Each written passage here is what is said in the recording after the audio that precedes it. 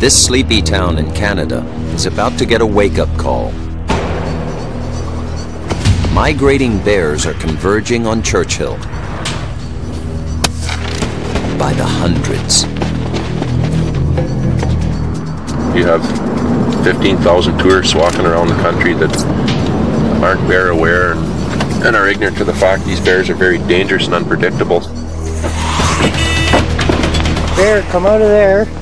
He pushed through this gate, went in there, and he was chasing a whole bunch of them chickens around. There was guts all over and feathers all over here. It looked like a real massacre.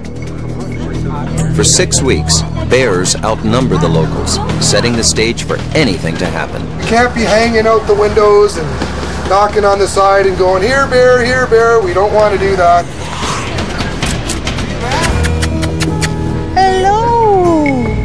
Just love it. Handling them is a huge undertaking. Capturing them, hopscotching them over the community, and then releasing them again, and they continue their migration. Churchill makes tremendous efforts to escort these giant predators safely out of town. But no matter what they do, the bears keep coming.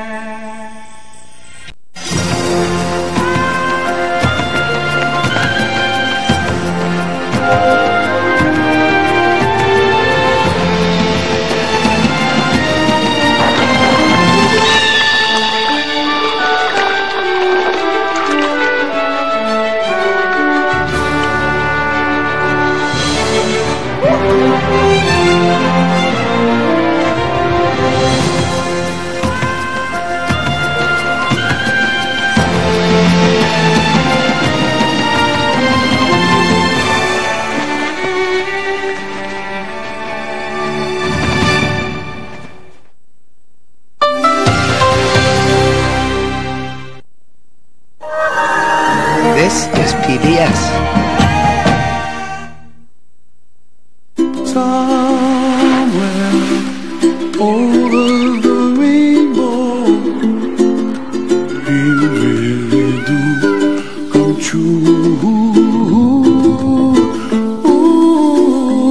I hear babies cry and I think to myself.